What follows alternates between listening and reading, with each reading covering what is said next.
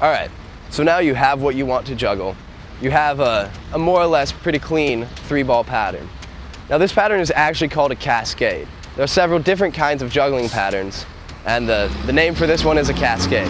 In a future video, I'll show you all the different kinds. But after you have your clean three ball cascade, just like this, you're gonna wanna learn how to do some tricks. One of the first tricks that people learn is called over the top. It looks like that. Now, just watching me do it might not help you learn how to do it very well. But what happens is all the throws will still go pretty much the same height, and they'll each cross hands just the same as the normal pattern. But one of your throws will go over the other throws. Now what, what you want to do is you're gonna practice just throwing outside from one hand to the other.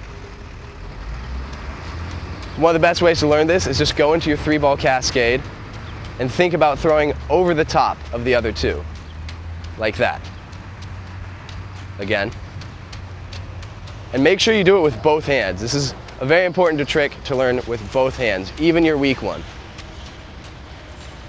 This is over the top.